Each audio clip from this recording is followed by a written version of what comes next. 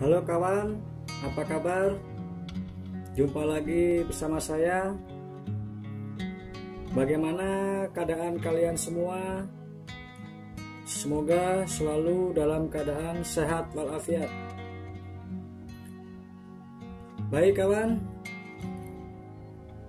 pada video kali ini saya ingin menjelaskan bagaimana cara mengetahui atau mengecek sebuah kapasitor mesin cuci itu dalam keadaan bagus atau sudah rusak.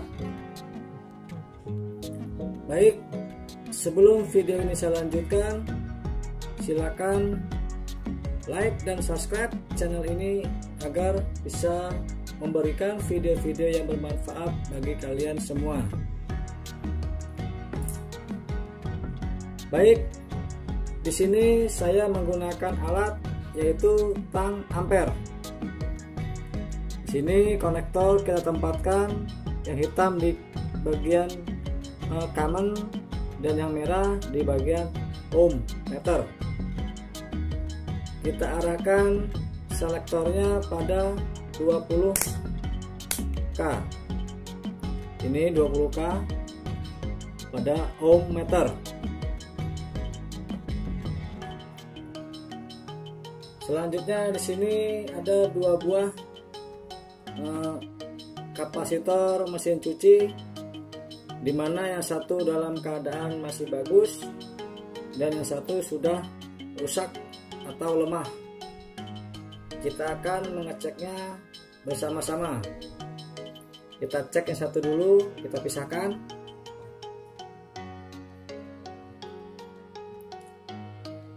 Dalam kapasitor mesin cuci ada yang terdapat dua kabel dan empat kabel. Di sini saya mencontohkan yang empat kabel. Di sini ada keterangan uh, warna merah dan warna kuning itu adalah 10 mikrofarad kita akan tes merah dan kuning. Ini kawan merah dan kuning.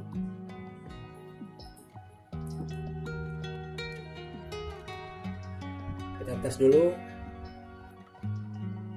Oke kita tes.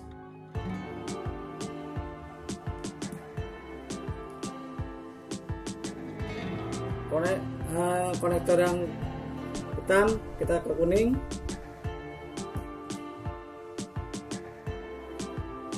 yang satu ke merah. Perhatikan. Jarumnya apa angkanya?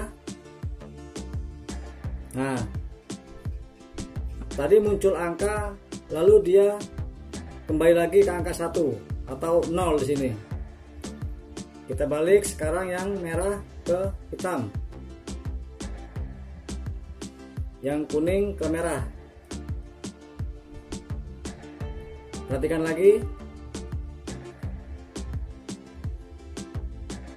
Nah itu terdapat angka lalu kembali lagi ke angka 1 atau 0 oke berarti yang dalam yang bagian 10 mikro ini masih dalam keadaan masih bagus.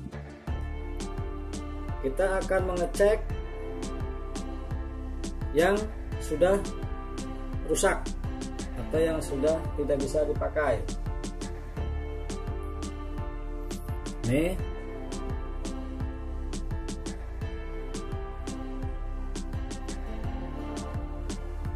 ini juga sama kita ukur yang bagian 10 mikrofarad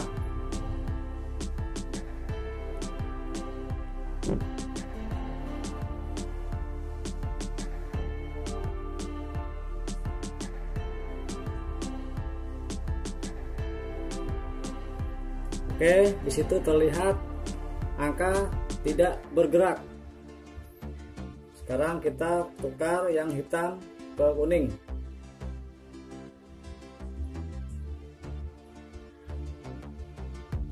Sama tidak bergerak. coba tukar lagi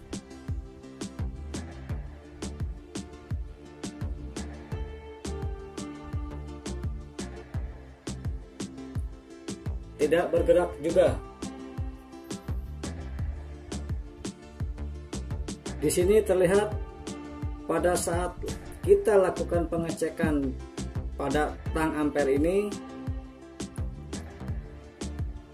angka tersebut tidak bergerak sama sekali.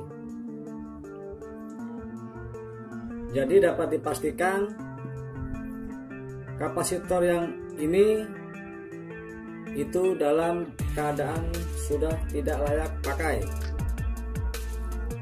Karena pada saat kita lakukan pengecekan dia tidak bergerak pada angkanya.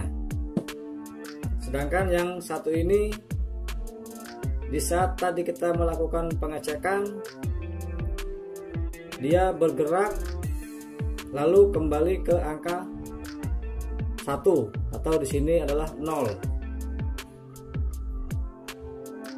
itu adalah kapasitor yang masih baik atau masih layak pakai.